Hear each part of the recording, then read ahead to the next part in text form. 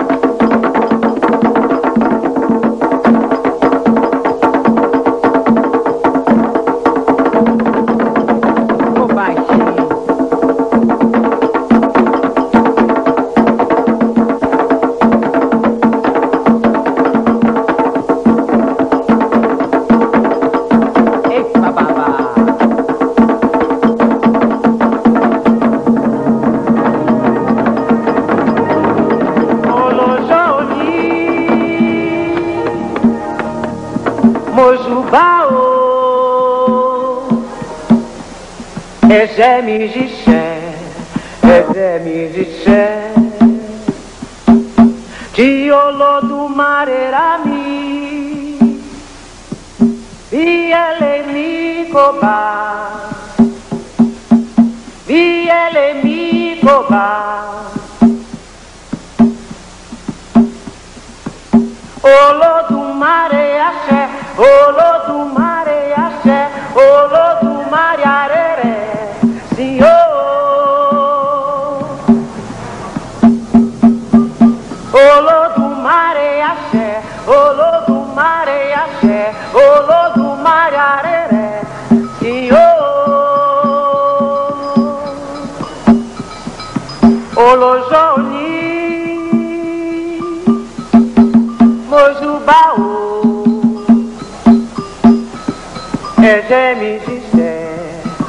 Gisele, Gisele.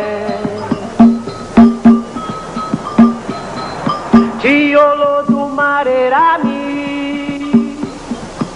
Biele Micoba, Biele Micoba.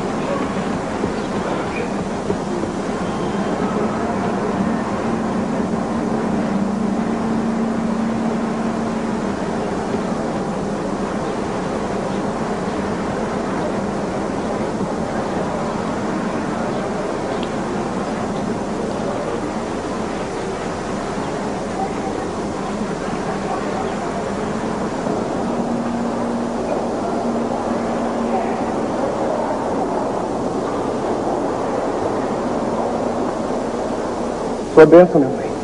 Oxalá te abençoe, meu filho. Minha mãe? Mandaram lhe avisar que querem tomar nossa terra, derrubar a nossa casa para fazer edifício. E tem um homem aí que diz que o terreno é dele, minha mãe. Esse terreno não é dele. Esse terreno é de Oxóssi, o caçador. Essa casa foi construída por Ayodê e ninguém vai derrubar.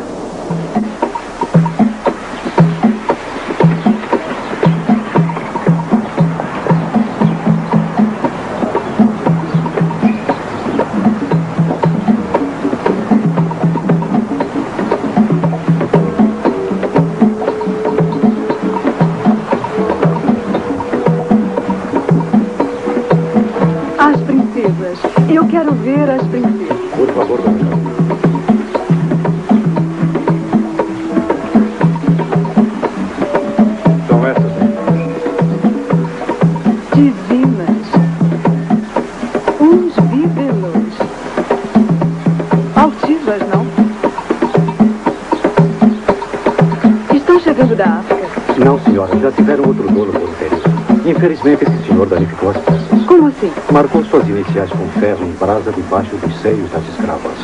Que horror. Que gente mais atrasada. Hoje em dia não se usa mais marcar escravos de qualidade. Eu só marco meus escravos da fazenda. Os da cidade nunca. Não se usa mais isso. Eu acho um luxo mucamas princesas. O senhor pode mandar a mercadoria para minha casa da Vitória? É claro, dona Carolina.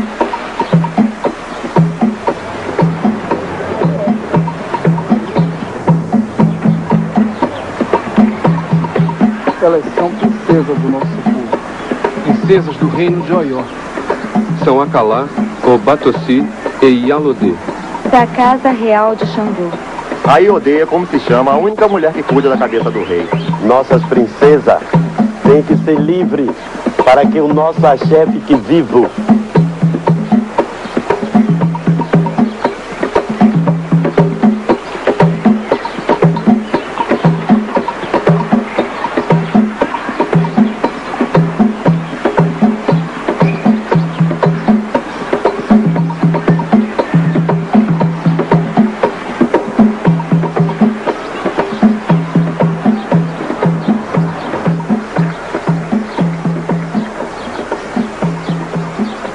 Agora eu vou contar para os mais novos. Escravo que trabalha na rua tem que levar todo dia um dinheiro certo para o senhor. O que a gente trabalha a mais, o dinheiro que sobra é da gente. E dá pra gente farrear? E desde quando pra gente farrear a gente precisa de dinheiro, moleque? O dinheiro que sobra a gente guarda na junta da alforria, que é para ganhar a liberdade. Ah, é? E quanto custa a liberdade? Custa o preço que ele pagou por você. Eles sempre cobram a mais e compram outro escravo. E daí eu fico livre. Livre como tu era na África. Livre. Livre até a guerra com os gêmeos. Depois me pegaram, me venderam para os brancos. Todo o nosso povo Nagô e Urubá teve o mesmo destino das outras nações. Jeje, Grunce, Angola, Congo, todos os irmãos na desgraça. E como é que eu vou saber quanto dinheiro eu dei? Cada um tem um bastão que a gente vai marcando aqui. Quem tiver mais, a gente empresta. Depois, paga para libertar os outros. E é para isso que serve a Irmandade da Igreja, para a gente se reunir e se ajudar. Eu pensava que vocês tudo tinham virado da religião dos brancos. E alguém vai esquecer os orixás só porque virou escravo? Nossos deuses atravessaram o mar com a gente. Por isso, o dinheiro que está guardado e todo o dinheiro que nosso povo der tem que ser primeiro para libertar as princesas. Axé! Axé! Axé! Papai que pariu!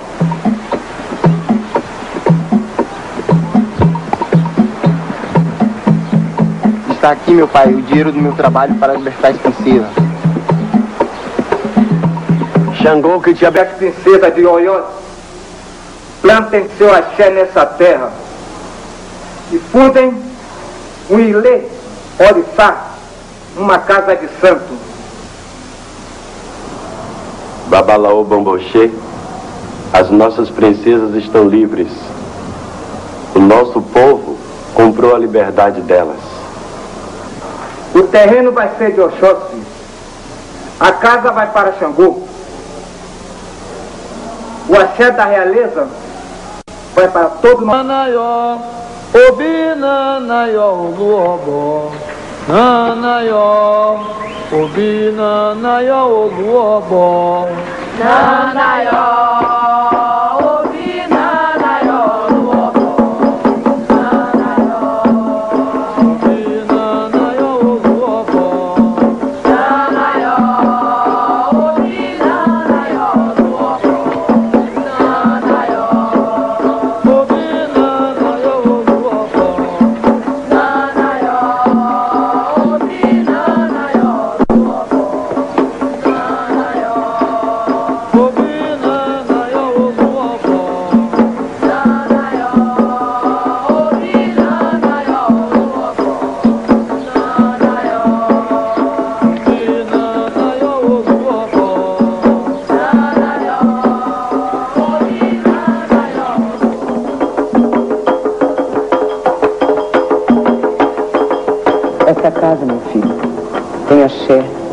fundamento.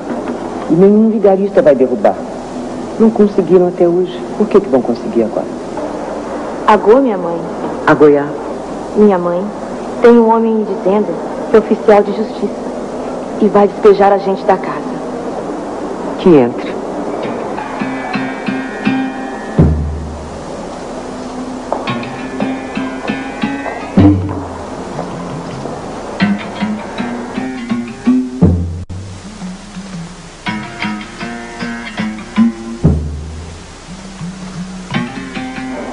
Boa tarde. A senhora me dê licença? Não é a mim que o senhor tem que pedir licença. Esta casa é do santo. Peça licença a ele.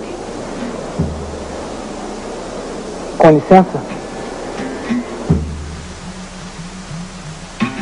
O senhor quer falar comigo, não é? É que o proprietário desse terreno, ele quer ser reempossado em seus bens. É impossível. O proprietário desse terreno já está na posse dele. É Oxóssi Caçador, o rei de Queto. O quero. O quero.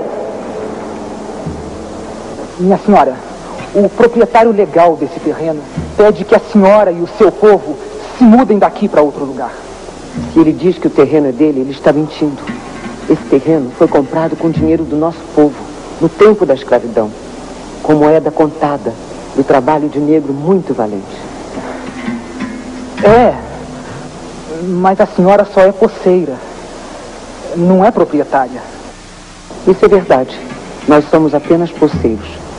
Usamos o terreiro para os rituais. Os donos mesmo são os orixás. Olha, o proprietário, ele tem uma certidão de compra. E levou 100 anos para reclamar. Ele inventou esse papel assim como ele invadiu o terreno aí em frente, derrubando árvores sagradas. Essa casa, esse chão, tem o nosso axé, o nosso suor, o nosso sangue. E enquanto eu tiver vida, ninguém me tira da casa do santo. Ora, minha senhora, seja razoável. Eu sou um mero oficial de justiça. Eu tenho que cumprir a lei. Justiça? Que justiça? A justiça dos brancos, do dinheiro, dos ricos. O senhor representa mentira. Justiça mesmo mora aqui nessa casa. O orixá da justiça é Xangô. E quando ele ergue o seu machado, cabeça de mentiroso nenhum fica em cima do pescoço. Olha, minha senhora, eu sei que é uma tarefa horrível. Tanto que ninguém queria pegar. Mas eu sou obrigado a lhe entregar essa intimação. Intimação? O senhor quer intimar a mãe de santo? Eu não quero intimar ninguém. Essa intimação é do judiciário, é do poder público, das autoridades constituídas. É isso, é. A sua autoridade não tem valor nenhum aqui dentro. Essa é uma casa real do povo Nagô. Quem reina aqui é minha mãe. Acima dela, os orixás. A Goiás.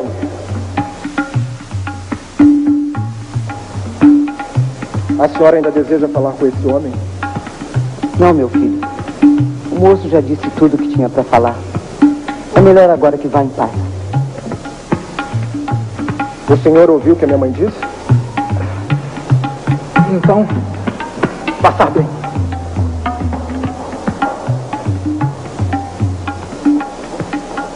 E agora, minha mãe? Depois que o Batalá criou o mundo, foi descansar. E Exu começou a trocar tudo de lugar. Lugar de mulher não é casa cuidando de filho.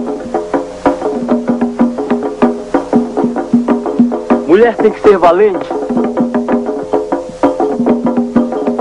Ir pra caça. Ir pra guerra.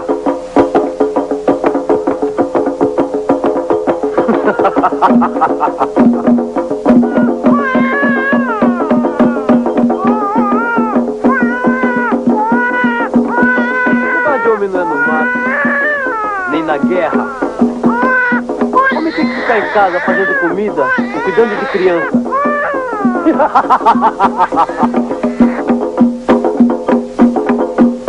Oh, o dia não é seu lugar? Já pensou? Que bonito. O sol brilhando na noite. Só para a noite só. Lua. A noite não é o seu lugar? Já pensou? Que bonito. Lua branca no céu azul claro. Só para o dia, lua.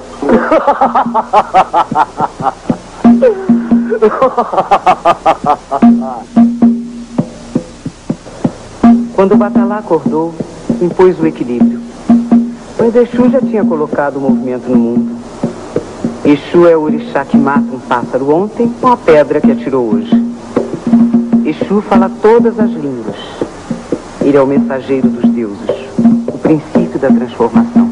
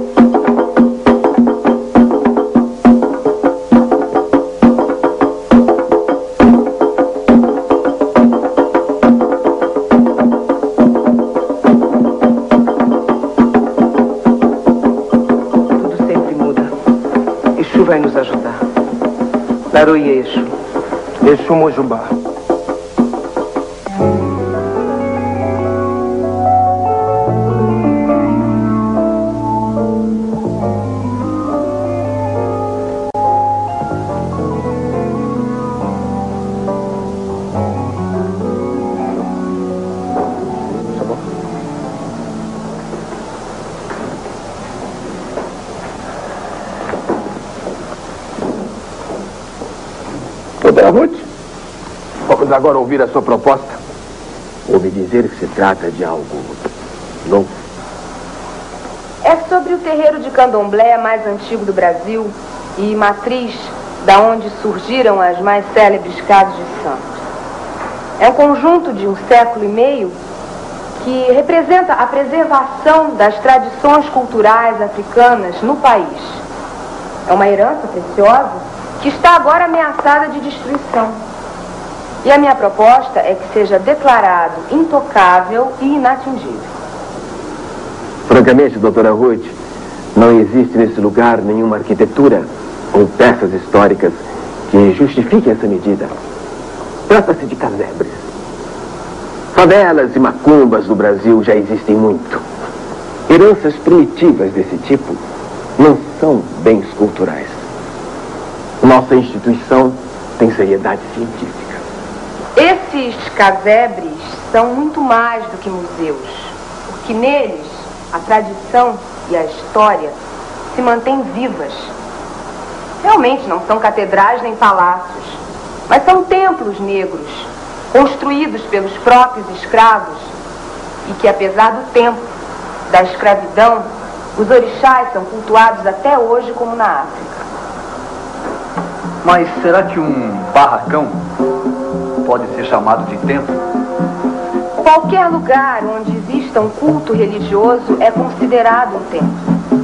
No barracão, as divindades se manifestam em seres humanos através da incorporação e recriam com danças e cânticos a mitologia africana milenar. Quer dizer então que as árvores sagradas dos terreiros vão ser cuidadas como as imagens antigas de igrejas? E por que não? As árvores, as folhas, as fontes valem tanto quanto um livro raro que poucos sábios conseguem ler. Através das forças da natureza, os sacerdotes negros elaboram rituais de uma cultura africana ancestral. Isso não é cultura. Cultura não é apenas aquilo que a nossa civilização criou. Vocês pensam que negros e escravos são incapazes de criar cultura. Mas a cultura deles resistiu ao massacre, preservou sua identidade e está viva até hoje. Essa casa tem que ser preservada.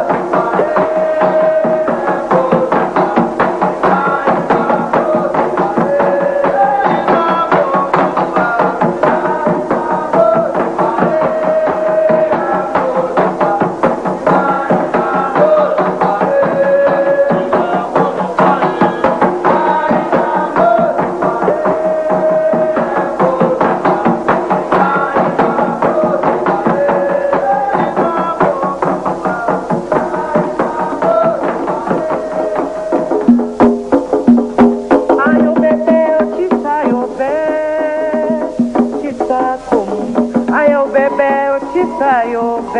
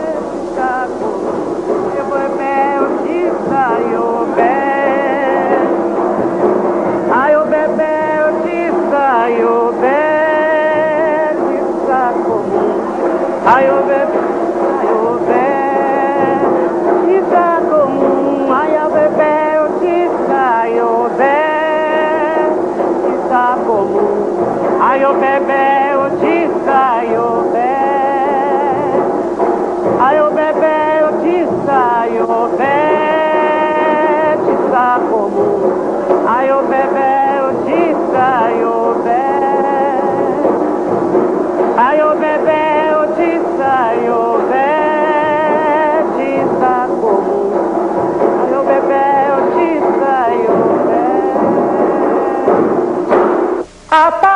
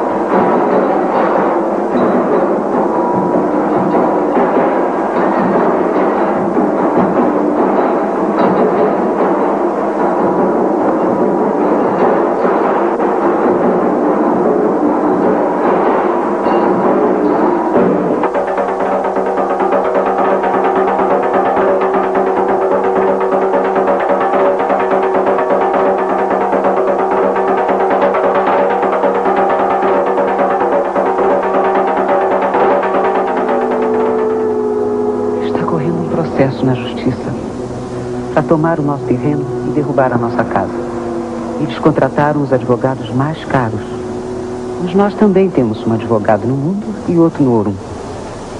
Exu há de levar a nossa mensagem aos orixás e espalhar a nossa defesa entre os homens. Nossos inimigos têm dinheiro, poder e influência.